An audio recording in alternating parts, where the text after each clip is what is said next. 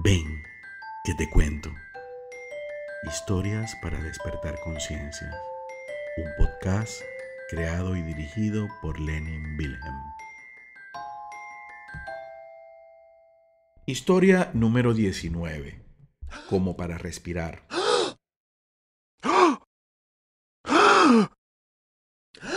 Cierta vez, un hombre decidió consultar a un sabio sobre sus problemas.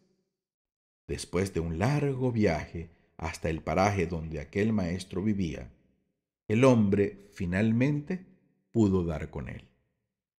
Maestro, vengo a usted porque estoy desesperado.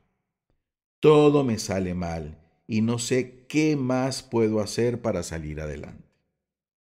El sabio le contestó, puedo ayudarte con esto.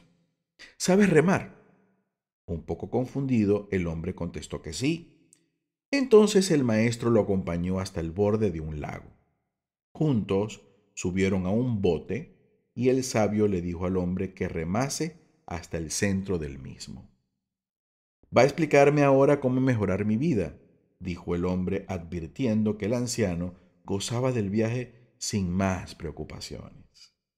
Sigue, sigue, dijo éste que debemos llegar al centro mismo del lago. Al llegar al centro exacto del lago, el maestro le dijo, Arrima tu cara todo lo que puedas al agua y dime qué ves. El hombre pasó casi todo su cuerpo por encima de la borda del pequeño bote y tratando de no perder el equilibrio, acercó su rostro todo lo que pudo, aunque sin entender mucho para qué estaba haciendo esto. De repente el anciano le empujó y el hombre cayó al agua.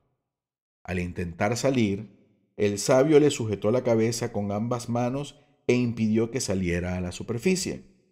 Desesperado, el hombre manoteó, pataleó, gritó inútilmente bajo el agua. Cuando estaba a punto de morir ahogado, el sabio lo soltó y le permitió subir a la superficie y luego al bote. Una vez en el bote, entre toses y ahogos, el hombre le gritó, ¿Está usted loco? ¿No se da cuenta de que casi me ahoga? Con el rostro tranquilo, el maestro le preguntó, Cuando estabas bajo el agua, ¿en qué pensabas? ¿Qué era lo que más deseabas en ese momento? Respirar, por supuesto.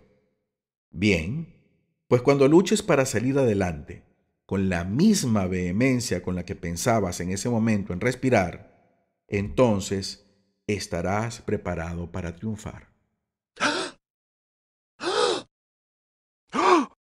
Gracias por escucharme. Déjame tus comentarios, consultas o sugerencias en mis redes sociales o en mi blog leninwilhelm.com.